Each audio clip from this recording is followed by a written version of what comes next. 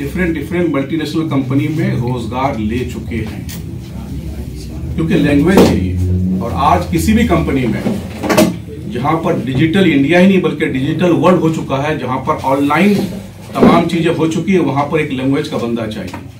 इसलिए आप देख रहे होंगे कि दिल्ली में वो बच्चे जो जामिया, दिल्ली यूनिवर्सिटी और जेएनयू से बी अरबिक करके निकलते हैं उनको बहुत सारी मल्टीनेशनल कंपनियाँ जॉब दे देती है और खास करके मीडिया में उनकी डिमांड बहुत ज़्यादा है। और मुझे ये बताते हुए खुशी भी हो रही है कि अगर हम लास्ट पाँच से सात साल का डेटा देखें तो दिल्ली में इन यूनिवर्सिटी के वो बच्चे, जिनका मैंने ज़िक्र किया कि बी अरबिक या एम अरबिक पास आउट्स आजकल मेडिकल टूरिज़्म के नाम पे बहुत सारी कंसल्टेंसी और बहुत सारे अपने कंपनी खोल करके जीसीसी जिसमें मिडिल ईस्ट भी आता है, वहाँ के और अफ्रीका के बहुत सारे जगह जहाँ पर अरबी बोली जाती है, वहाँ के तमाम पेशेंट को, चाहे अपोलो हो मैक्स हो मैदानता हो, उन तमाम लोगों से उनका टाइप होकर के बड़े पैमाने पर वो रेवेन्यू जनरेट कर रहे हैं।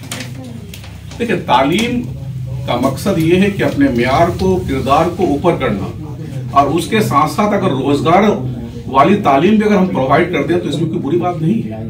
हम जीसीसी मिडिल ईस्ट में अरबिक में बहुत मज़बूत हैं, लेकिन दुनिया का बहुत सारा हिस्सा अभी हमारे लिए बाकी है।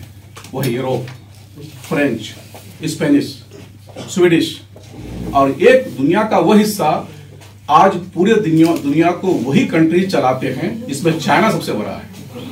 मैं आप लोगों को डेटा देता हूँ कि 80 परसेंट मेरा इंपोर्ट चाइना से होता है, और पेंडेमिक होने की वजह से अभी कई सालों से चाइना जाना नहीं हुआ। लेकिन मैं चार साल, पाँच साल पहले चाइना हर साल में तीन, चार बार जाया करता था। चाइनीज़ लैंग्वेज का बहुत डिमांड है। तो मैं इस इदारे को एक मशवरा के तौर पर यह देना चाहता हूँ और उस कोर्स का मैं पार्टिसिपेट मैं पार्टिसिपेंट भी बनना चाहता हूँ कि मुझे चाइनीज़ सीखना है। आप चाइनीज़ फैकल्टी बुलाइए। सबसे पहला स्टूडेंट मैं रहूँगा क्योंकि मुझे चाइनीज़ सीखने की ज़रूरत है। और नंबर टू ये है कि आप अगर चाइनीज़ सीख लेंगे तो चाइना से कारोबार बहुत आसान हो जाएगा। पॉलिटिकली इंडिया और चाइना का क्या रिलेशन है उस पर जाना नहीं चाहता लेकिन एक बात आप सुन लीजिए, कोई घर बिना किसी चाइना का सामान नहीं चल सकता। कोई फैक्ट्री कोई इंडस्ट्री नहीं चल सकता। है ये बात मान के चलिए। ये डेटा है इंपोर्ट कितना डेटा है एक्सपोर्ट कितना, आप देख लीजिए।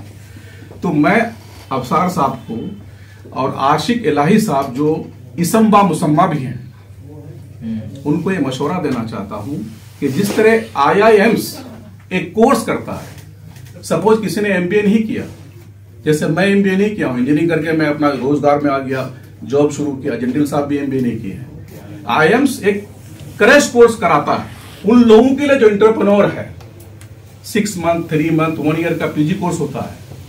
तो मैं आपसे ऑफ़र कर रहा हूँ कि अभी आपके जो बच्चे पंद्रह हज़ार हैं, वो रोज़गार के लिए कोर्स कर रहे हैं। या कुछ बच्चे जामिया में या किसी यूनिवर्सिटी में डीयू में जेडीयू में पढ़ते हैं और उनका कोई फॉरेन लैंग्वेज है, उस कोर्स को क्वालिफाई करने के लिए सब्जेक्ट में पास होने के लिए अच्छा नंबर लाने के आपके यहाँ क्लास करते होंगे।